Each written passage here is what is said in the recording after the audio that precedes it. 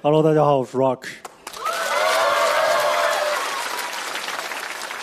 今天是三人 PK 赛啊，我的对手是庞博和小慧。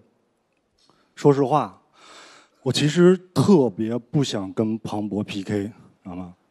因为去年就 P 过一次，然后 P 完之后，于谦老师给了我一个评价，叫“阴暗的小人物”。然后打那之后呢，我的人缘就越来越差。你们知道，在一个公司做一个边缘人物是什么感觉吗？你看，今年效果文化发生了很多事儿，你们都知道啊。而这些所有的八卦和内幕，我其实跟你们一样。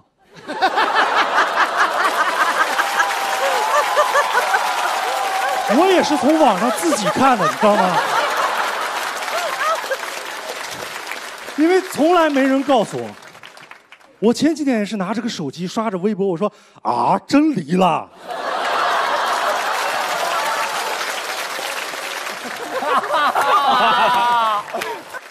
怎么没人跟我说一声呢？啊，我好歹也是脱口秀离婚界的前辈啊，那太不把前辈当回事了。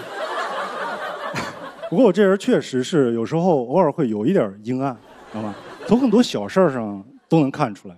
你就比如说点外卖这事儿，知道吗？现在大家都点外卖很方便，但我觉得我已经被外卖惯坏了啊！我现在有恶怒症。就，然后每次点完外卖之后，是我这一天最暴躁的时候。然后我拿着手机说：“我的外卖怎么还不来？我可是超级会员呀！”我现在点完餐之后有一个习惯，你知道吗？我就会一直拿着手机看，看他那个送餐地图。我看他怎么走，然后刷新，我说他怎么这么慢？他是迷路了。他怎么往反方向走了？他是不是接了十单，最后才送我这一单？他怎么不动了？他是不是在偷吃我的外卖？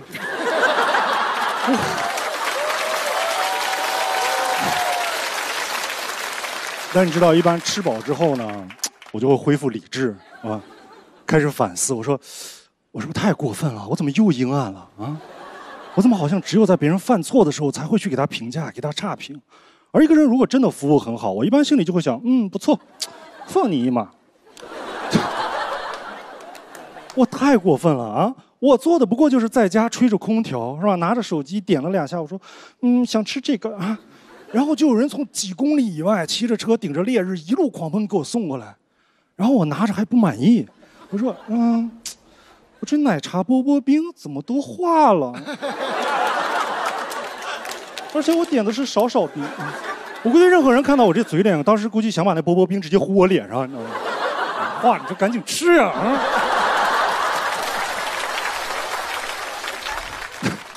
我觉得我可能需要一个可以互相评价的世界，知道吗？就是这样才可以让我收敛一点，这样才可以治愈我的阴暗，知道吗？因为不然的话，我就可能收到很多歧视的评价，是吧？这人垃圾，以后都别给他送餐，饿死他。我觉得我们真的对评价都太敏感了。然后有一次我打了一个专车，然后平时坐车我一般都会在后边犯困，然后自己一个人打会儿呼噜什么的。但是那一天我真的特别清醒，因为那个司机在打呼噜啊，就 司机打呼噜还。我不知道你们有没有遇过这种情况，你知道吗？就是你本来在后边还有点困，是吧？突然听到前边，